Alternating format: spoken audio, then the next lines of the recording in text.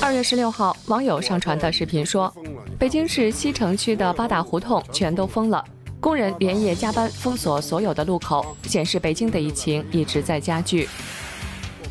网友二月十三号贴出的文件显示，位于武汉的中共海军工程大学一月二号就接到了武汉卫健委有关肺炎疫情的紧急通知，并下令封校，严控外来人员进入。而当时，武汉和全中国的民众还都相信中共所说的不会人传人，被蒙在鼓里。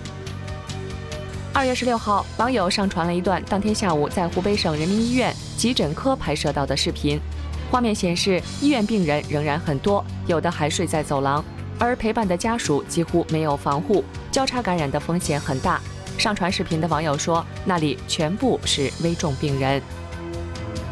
中共用十天建成的火神山医院，二月十五号爆出两桩丑闻：一是医院屋顶严重漏水，病人被迫转移；二是参与医院建设的建筑工人有两人被确诊感染。据工人介绍，当时施工现场就有多人发烧咳嗽。一号区域交付后，二月四号开始收治新冠病人，但同时在二三四号区域，工人则还在施工。